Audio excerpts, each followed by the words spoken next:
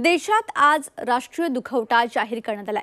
इराणचे राष्ट्राध्यक्ष डॉक्टर सय्यद इब्राहिम रईसी आणि परराष्ट्र मंत्री होसेन अमीर अब्दुल्लाहियान यांच्या समर्थनात आज केंद्र सरकारनं राष्ट्रीय शोक जाहीर केलाय. या दोघांचाही हेलिकॉप्टर अपघातात मृत्यू झालाय ज्या इमारतींमध्ये राष्ट्रीय ध्वज नियमितपणे फडकवला जातो अशा सर्व इमारतींमध्ये शोकदिनी राष्ट्रध्वज अर्ध्यावर फडकवला जाईल.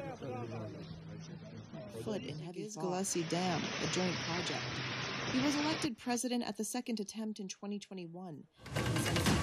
तर आपण बघतोय इराणचे राष्ट्राध्यक्ष डॉक्टर सय्यद इब्राहिम रईसी आणि परराष्ट्र मंत्री होसेन अमीर अब्दुल्लाहिना यांच्या समर्थनात आज केंद्र सरकारनं राष्ट्रीय शोक जाहीर केलाय